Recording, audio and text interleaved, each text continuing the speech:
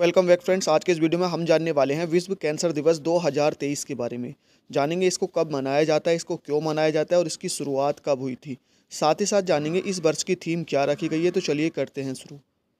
प्रत्येक वर्ष चार फरवरी को विश्व कैंसर दिवस मनाया जाता है।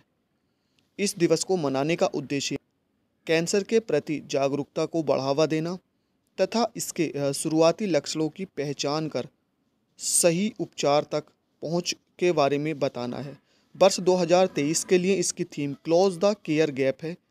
सबसे पहले विश्व स्वास्थ्य संगठन की पहल पर उन्नीस यानी 1933 में पहला कैंसर दिवस जिनेवा, यानी कि स्विट्ज़रलैंड में मनाया गया था। तो फ्रेंड्स, हर साल चार फरवरी को विश्व कैंसर दिवस के रूप में मनाया जाता है।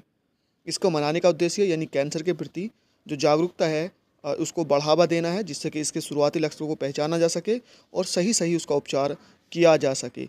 इस वर्ष की जो इसकी थीम रखी गई है, वो रखी गई है क्लोज द केयर गैप ये थीम्स काफ़ी ज़्यादा पूछी जाती हैं तो क्लोज द केयर गैप वर्ष 2022 तेईस और 24 के लिए इसकी थीम यही रहने वाली है। तो इसको लाइक शेयर करना ना भूलें। थैंक यू फॉर वॉचिंग मिलते हैं नेक्स्ट वीडियो में।